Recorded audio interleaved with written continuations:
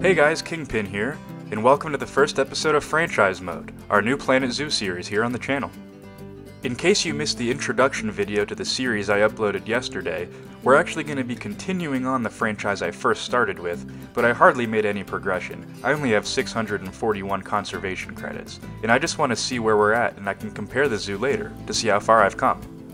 Now what biome should our new zoo be in? Hmm. Well, the last zoo we made, the Akron Zoo, which is the city I'm living in currently, it was temperate in North America. And since you guys weren't a part of that series and I really enjoyed the layout, it wasn't too hard yet since we're still not very good at the game. I think I'm gonna pick the exact same layout as that one, just so I know it's coming. Now that I have some experience, we'll play on medium, and you know what, we'll try the sculpted terrain too. I'm gonna call this zoo the Columbus Zoo, since that's the zoo that's taking a ton of inspiration from, and it's my favorite zoo in the country. I used to go there every day as a kid, and I really like it. Whether it's Minecraft or Planet Zoo, there's nothing like opening a sandbox game and having a complete blank slate. Let's have some fun. I've spent every single minute in this game I've played so far trying to learn how to make exhibits for animals, and not necessarily build buildings from scratch. So luckily the workshop exists, and I don't really have to get good at it right now. This building looks really professional, it looks really nice, and it has every single building we need to start off the zoo. It's gonna take over half of our money, but I think it's worth it. Alright, we finally got the path all connected up. Now we just need to figure out what to do with the main area path. I wonder what we're gonna do with this central area of the zoo. It's always the toughest part. If you watched episode 0, you'll know what animal I want to start with. Just like the Columbus Zoo when you first enter it, the first animal we're going to use here are the California sea lions. They're going to be really cool and a good first impression for this zoo.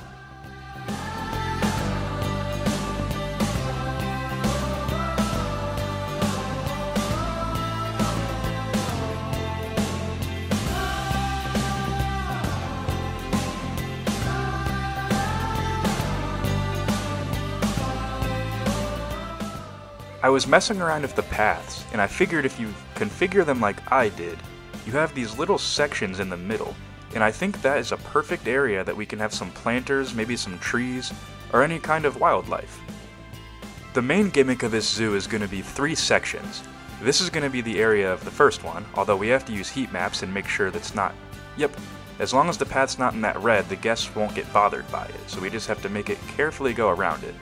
So for example, this path might lead to Africa, Asia, North America, Australia, who knows. But there's going to be three paths.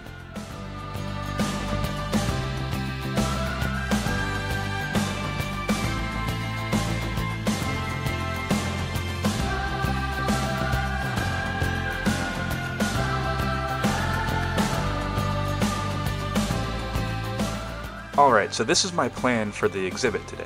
Remember, we're doing California sea lions and I kind of want there to be a viewing area that can see underwater where I was just pointing with the cursor.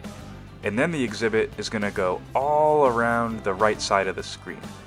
So there's going to be a viewing area right here, right kind of in a U shape like this. I don't know if I'll be able to do that in my first try, it's going to be tricky, but I want the guests to be able to view these seals from a long distance. If you watched episode 0, you'll remember a big part of this series is education, so let's learn about our sea lions we're adding soon. The pink on this map shows where the California sea lion can be found in the wild today, and luckily they're not endangered. There's approximately 650,000 of them. California sea lions are extremely social animals, and they often travel in large groups to protect each other from predators. Animals without good defense weapons like claws or horns often do this because they look more intimidating as a group. Now, in saying that, don't think sea lions are friendly creatures. Unlike seals, they're actually quite fast on land and have much sharper teeth. They may look cute and cuddly, but they're predators, hunting fish and small mackerel along the coast of California to feed their young and themselves. While all seals can do on land is kind of hop around using their bellies, sea lions can actually pretty much run. Despite them being able to move on land, they're much faster in the water, they can even reach speeds of up to 30 miles per hour underwater, which is really fast for a mammal.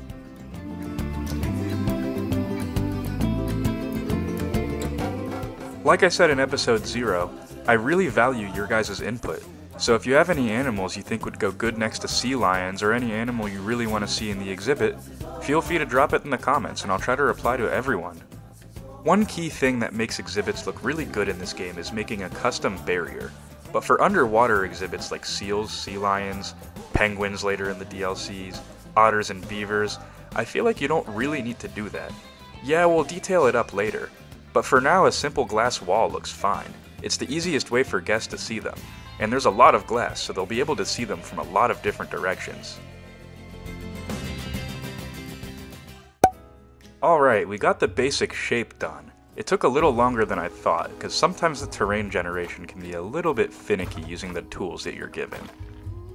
But now let's try to fill it with water and see if we did it right, otherwise that all would have been for nothing. And I saw, yep, valid.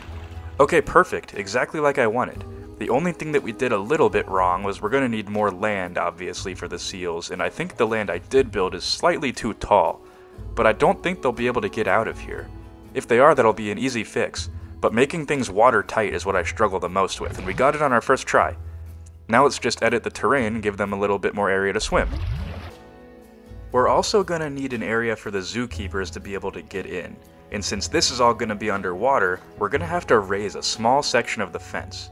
Luckily we can use the pre-built terrain tools to do that, and it shouldn't be that hard. The problem is we're going to have to get a staff path back here, and we built right on the edge of the barricade, so there's only one area we can possibly do that, and that's to our right currently. So let's see if we can't get this path to come right along the side, and hopefully give our people the best view of the seals possible before we need to put the staff path in. The Columbus Zoo, which this is modeled after in case you forgot, has a really cool seal and sea lion exhibit right at the start. Although in that one there's an underwater tunnel, and they can go to the sides of you, above you, and below you. I'm not good enough at this game to do that quite yet. Heck, I don't even know if it's possible, but I'd be curious to hear in the comments if it is. Instead, what I'm going for is right at the start where you saw that little decline, I'm going to try to put some stadium seats right there in a guest talking point so we can have seal shows. That should get a lot of early game revenue coming in if we put donation boxes and education stands down there. Hopefully the people like it as much as I do in my head. If you're just starting out, try using these terrain tools. They can be found in the terrain editing menu on the fourth slide. They're really helpful, and they can give you slight inclines, slight declines, or even the opposite, and they can give you big indents to make underground exhibits. But for now, we just want this slightly above the water line. It'll be like the seal's main island, probably where their food and the majority of their enrichment's gonna be. Alright, that took longer than I care to admit because I'm not very good at the pathing yet, but the outline of our exhibit's officially done. We have this staff-only path, with the door right there, so now our zookeepers will be able to deliver the seals into the exhibit. We're about to put them in actually, we just need to make sure the water can go in one final time, and hopefully I made it deep enough. The seals need two types of water, the deep dive water, which is at least 2 meters deep, and then normal water, which is anything above 2 meters.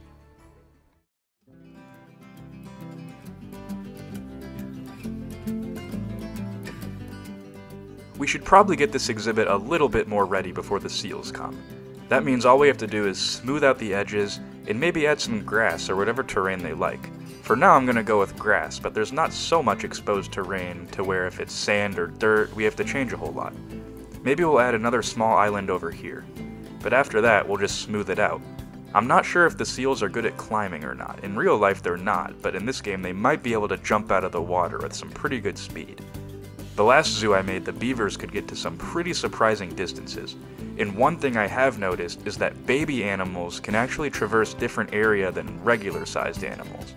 I had a cougar exhibit in my last zoo, and while the adults couldn't escape, the juveniles could get out really easily, so I'm gonna have to keep that in mind if our seals ever have offspring. I think we have two females and a male, so hopefully they'll have some babies pretty soon and we can start getting some conservation credits the natural way. I brought it up in episode 0, but I know breeding zoos are the way to play this game if you want efficiency. But efficiency isn't really how I like to play games. I want to take this really slow, and try to treat these seals with as much respect as they deserve.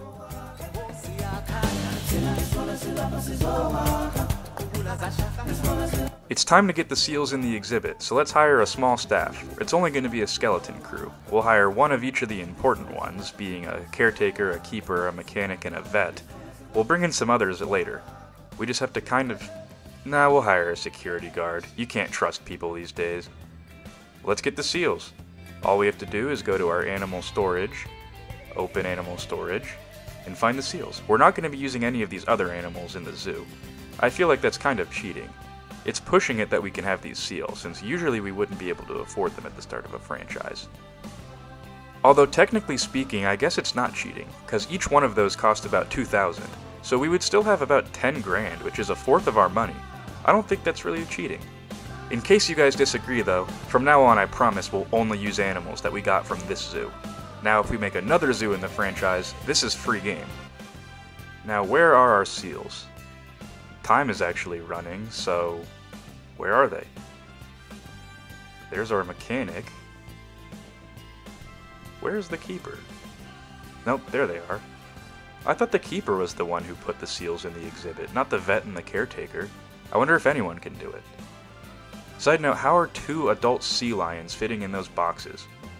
The Zoopedia says these things can get up to 670 pounds. Those guys must be pretty dang strong in order to run with that, especially if there's two of them in one of those boxes. That's half a ton.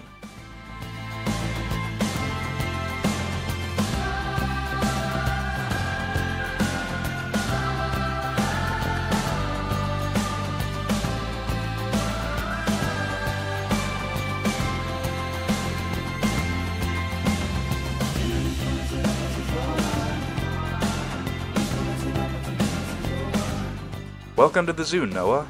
Very first animal that we've had. And it looks like the terrain isn't correct, but that should be an easy fix if we keep the time paused. We'll have to check the heat maps and make sure they can traverse everywhere easily, and see if the water's good.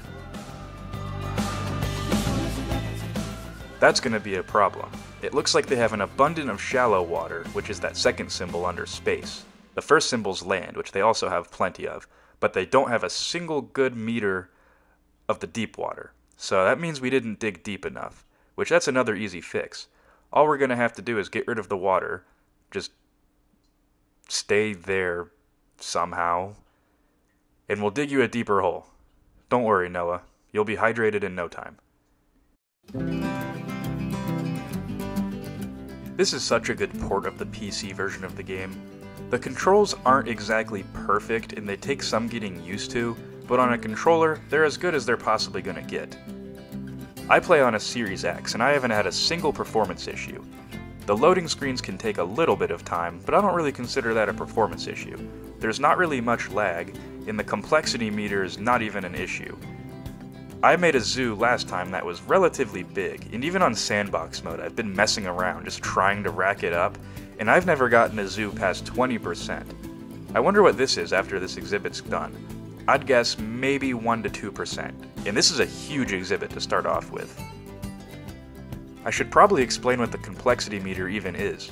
Since consoles are a little bit less powerful than the big PCs that some people can buy now, there's a complexity meter on the console edition, which basically makes it so you can't build unlimited amount of stuff. You can't just have the biggest zoo the world's ever seen. So it'll cap you once you hit a certain amount of space. But that space is very big,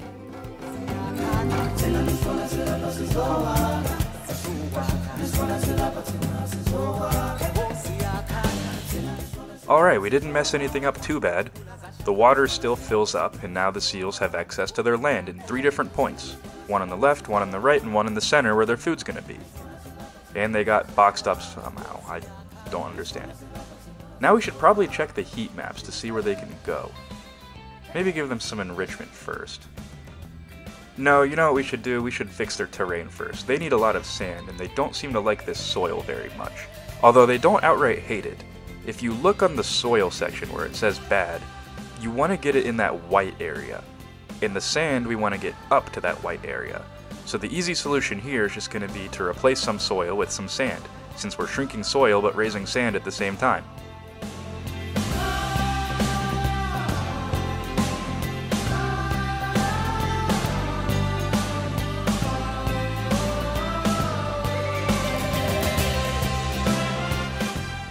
There's two types of sand in this game, rough and coarse, and I don't really know if there's a difference between the two. But if you look on the top, as you see we're placing this sand, that meter's going up and the soil meter's going down, which is exactly what we want. But there's a lot more soil in this exhibit than you'd think because it's all under the water too, and I'm pretty sure that affects it.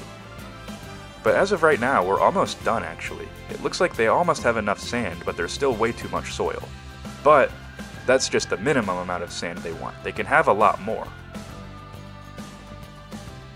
Opening up your heat map tab, you'll find traversable area. It'll make all the animals in an exhibit blue, and if you click on one, it'll show where it can go. The blue is where it can go, and the white it can't go. And it'll tell you if it can escape. Which, if you look at our fence, there's no red icons, so it can't escape. But the problem is it can't really go on the land masses we've created yet, except for this big one in the middle. So we're gonna have to get rid of the water again, and then smooth it down. That shouldn't be very hard.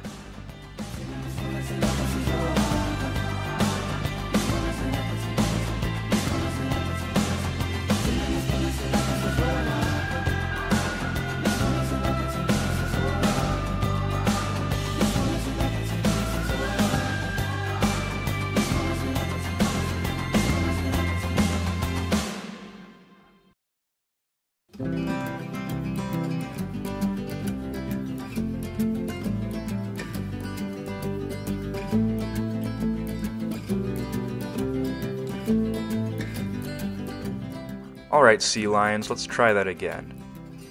Come out of your box. I think you're Noah, at least. forget the other one's name. Traversable area, check, and it looks like... Wait a minute, we need water. That would probably help. They're not climbers, they're swimmers. Alright, take two. Now let's go to traversable area, and hopefully... Wait a minute, what happened? Oh, it's because we stopped time to build. Now let's just reset time. Unpause the game effectively.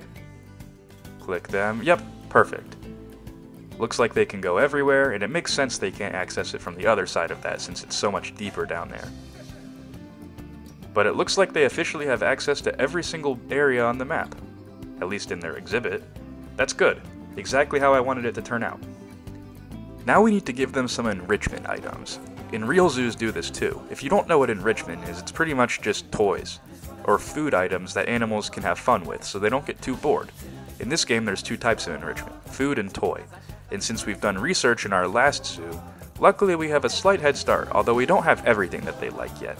But we have this submarine toy, we have frozen fruit, we have lots of things that they'll like. Does this thing not sink wherever it goes? I wouldn't mind placing a second one, but that is cursed. It looks like a balloon. Maybe it is a balloon, who knows. But let's... I think a feeder would be nice. Remember, these things are predators and eat fish. Let's put this one in the water next to the, where the guest viewing area is going to be. These things are kind of ugly. If you know how their hitboxes work in the comment section, please let me know because I kind of just want it to be like this, sticking out, but I don't know if it'll be able to be refilled. We'll test that later. Let's find the seals and see what else they like. Come here, Noah. It looks like they like soccer balls, those Skittle toys. I think that's a big snowball. This will be cute there. The guest will be able to see them play from really far away with that soccer ball on that island. Ooh, this could be fun. It's pretty much just a giant water spilling thing. Kind of like you'd see it at an amusement park or a water park. But where should we put it? Putting it in water might be a little bit redundant, plus this can cool them off. And if they want to be cool and be on land, they could have an option. I don't know if seals are easily, like, temperature dependent or not. They live in California, so they shouldn't get too hot. The reason the screen turned orange and yellow is because when you pull out this thing, it automatically turns your heat map for temperature on, since this thing should be used to cool animals off. We'll bury it in the ground a little bit, and I think that works perfectly on that island. It'll be one of the first things the guests will be able to see, and hopefully the seals like it. It would be really cute if they use that, and that's the guest's first impression of the zoo. First impressions mean a lot in this game. We'll add some of these water jets too to this little island, so they can have a sprinkler,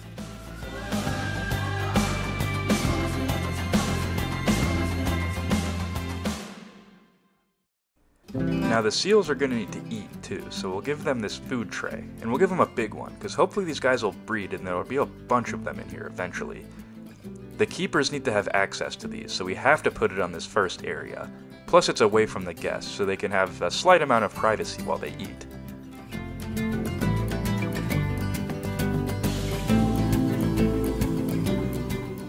Matter of fact, we'll add a majority of their food enrichment items over here on this main island. Apparently they like this dog toy. We'll give them a block of frozen fruit, and then maybe we'll put one way over there on that other island, just in case they get hungry when they're far away. They should like it over there.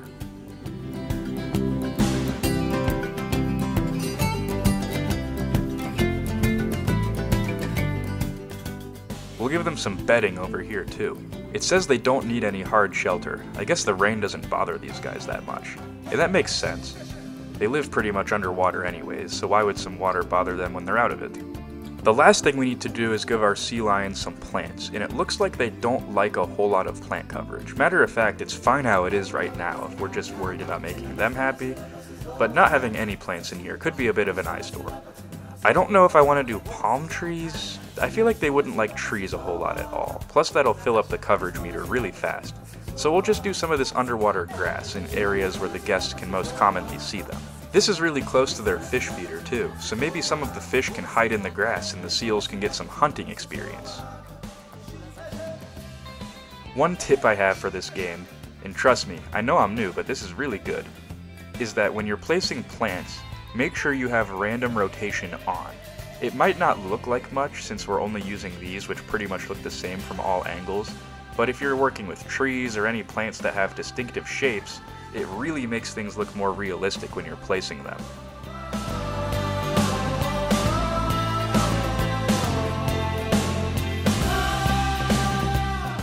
The exhibit is really starting to take shape now. The only thing we have left to do is make it a little bit more educational and then make our seating area right kind of over there. Luckily, on the Planet Zoo workshop, which you can access from the main menu, I found this really cool design for a blue, or not a blue board, what am I talking about? One of these education boards.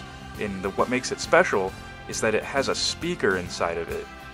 Speakers and education boards are typically two separate things. But with this blueprint, we can make it absolutely perfectly placed every single time. We'll add another little viewing area over here so the guests can get an even better view of the seal's private... I keep saying seals, I keep meaning sea lion. Seals is just easier to say, sorry guys. But we'll make a small little path over here for easier viewing as soon as you get in the zoo. Especially since it's near their big fountain.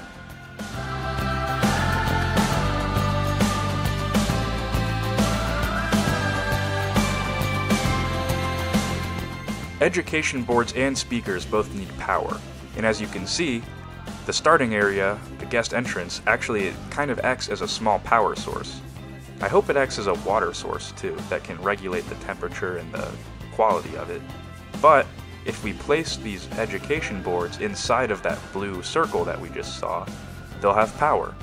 If not, it'll just be a black screen and people will hate it.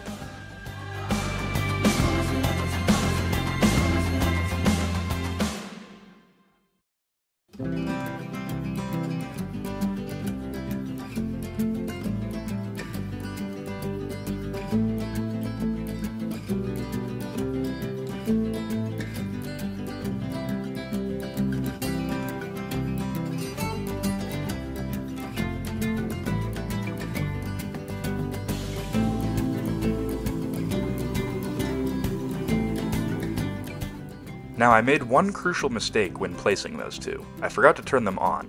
Don't forget to turn the speaker and the education board on, and set it to the animal that you're looking at, otherwise guests will be confused. You can crank up the range of these speakers too, but since this one's built pretty close to the edge of the map, it doesn't have to be that loud. This one's more isolated, so it can be really loud. Let's crank this one up pretty much as loud as it can get. See if we can't get a size 20 on here. Yep, perfect. Now there's just this small little dead zone in the middle, so we can use another blueprint that you get from pre-ordering the game, I believe, or buying the deluxe edition, I don't know. I have the ultimate edition. I don't really get ultimate editions that often, but this game seemed really worth it since we already know the DLCs. But I have this blueprint, and you, a lot of you should too. Normally I don't like to do hard jump cuts like that without explaining what I did, but I had to stop recording because this took me so long to figure out. Pathing in this game and the terrain generation is just one thing I haven't mastered yet. But we have our stadium seats along the bottom of the exhibit now, so the guest can be able to watch the educator, which we haven't set the month yet, but during April as of right now, they'll be able to watch a seal show right down there. Now all we have to do is use rocks and foliage to blend it into the environment. The exhibit's almost done.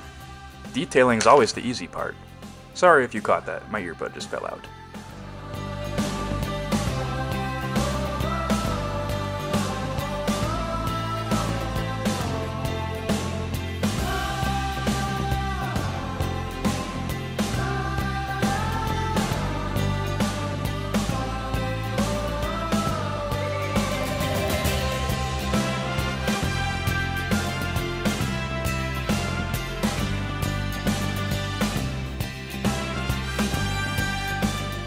Alright, now the exhibit's looking close to being done. We just need to add the final details.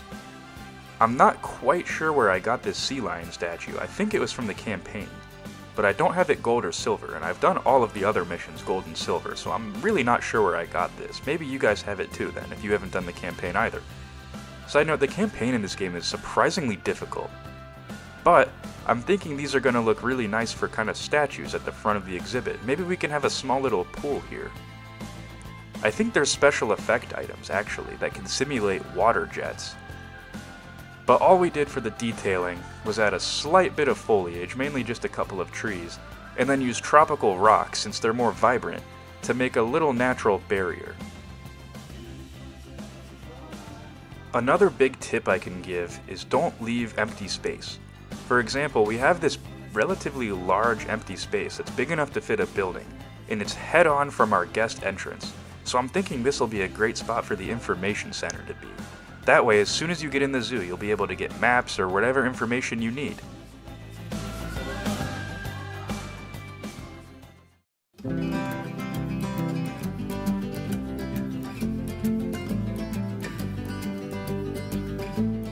Despite the problems the complexity meter might pose, I'm really gonna try to have every square inch of this zoo covered with some type of life.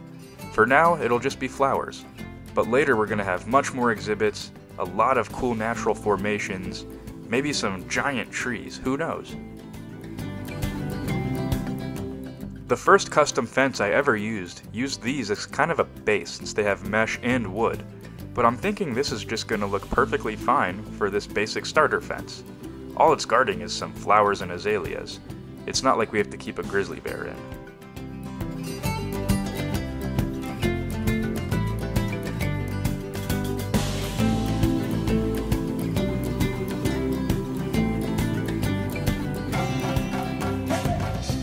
Let's test the effect of those water jets. This is a large one. I wonder how it's going to look. I think that's a good spot for it. Let's unfreeze time. Yeah, that looks really nice. Let's just add a few more of those. And apparently guests think the tickets are underpriced despite there only being three animals and they're all the same in this entire zoo. That's a good sign. We can probably double the price. Let's add another one there maybe another one back there. We don't want the people on the back of the bleachers to get absolutely flooded by these things.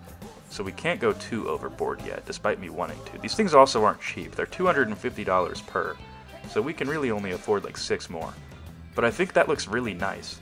If we can use a little bit more rock and somehow cover this area in, I'm thinking it'll be perfect.